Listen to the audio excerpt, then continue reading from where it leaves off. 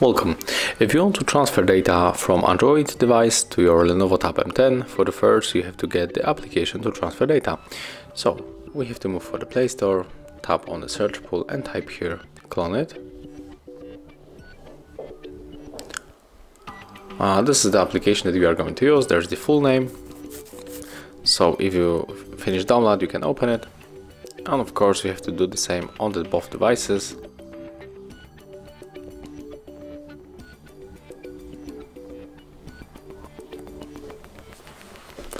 Accept all the permission that pop-ups on your screen. And as you can see unfortunately oh I was about to say that it doesn't support the auto rotate screen but it does. So uh, it's really cool. We don't have to flex our neck so uh, as I said before you have to accept all of the permissions that pop ups on your screen uh, on this left smartphone it is not going to happen because it's my private smartphone and I use this application a lot of time so it was installed a few times ago uh, but if you got any permissions for the location, storage, contacts, wherever just pops, accept it. There's what this application uh, needs to work properly. So right now we are sending data from the Android device, so click sender on it, tap set, turn on location and then just go back. And as you can see we are back in the application but uh, in some uh, cases, uh, I don't know, it probably depends of the Android version, uh, when you tap on this uh, back. I mean the back. Uh, I just forgot the word. Wait, wait a minute. When you tap on the back, what was the word of that? Okay, let's call it marker. when you tap on the marker, uh, you will be back in the settings instead of the application. So it will be probably happen in this one. So click sender here and tap receiver on your Lenovo and check it right now. We will be clicking here back and we are not in the application but we are in the settings of our device. So we have to open the background apps right now.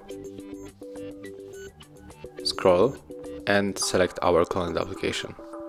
And right now we have to tap receiver, click search again and this part of the process doesn't support the auto rotate screen okay never mind uh, click on the android share icon and right now we have two ways to connect. We can scan uh, this code but also we can input the password manually so we have to pick your way.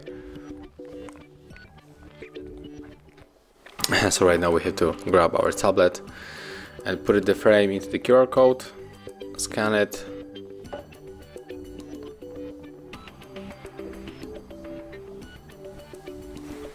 Accept the request and right now if you want to send all of the data I just wonder why it doesn't work. Come on what is this? So uh, if you want to transfer all of the data you have to select one of these icons. And right here you get the size of the selected files and also here you get the estimated time. But of course I don't want to wait that much so I'm going below for the details. And I'm going to show you how it works on the music I think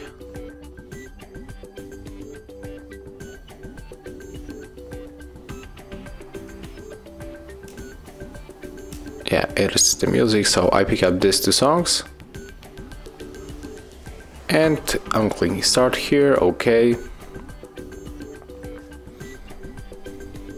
As you can see transfer is finished. So uh, right now we can uh, just check where are the files and will be probably uh, in the downloads.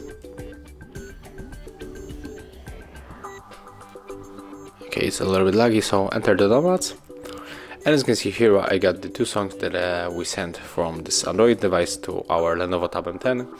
Thank you guys for watching, leave thumbs ups, comments and subscribe to our channel.